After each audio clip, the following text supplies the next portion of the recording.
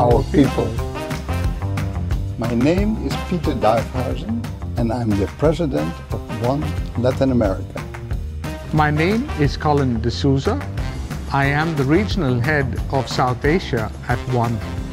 We are starting a brand new business, a new brand, a new logo, new systems, and new ways of working. It was all to be done from scratch. You could say a fresh beginning. Being in this kind of startup-like environment is not easy. Things are hectic, there's a steep learning curve, both internal and external challenges that will push you out of your comfort zone.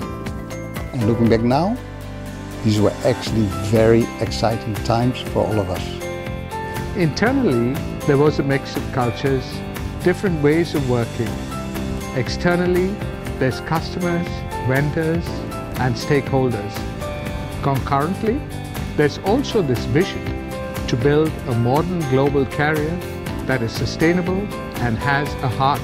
But all this cannot be done without people. Without people, nothing works.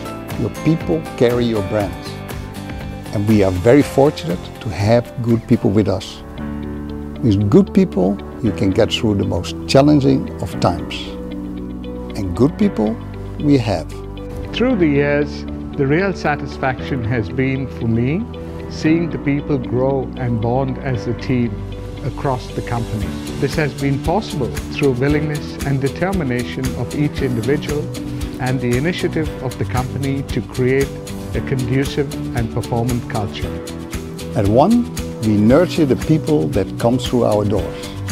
We are very intentional in giving them exposure equipping them with the skills and tools they need, and more importantly, giving them the space to speak up freely and share their ideas. In that sense, we have a very strong culture of staff empowerment, and this vibrates throughout the entire organization. When you empower the organization at all levels, the organization will flourish. And clearly, for me, it has been very rewarding to see the people grow as individuals and as a team, full of energy. Wow! Every week, we move over 200,000 containers around the globe. This would not be possible without our Magentians around the world. These five years would not have been possible without them. That teamwork, resilience and adaptability.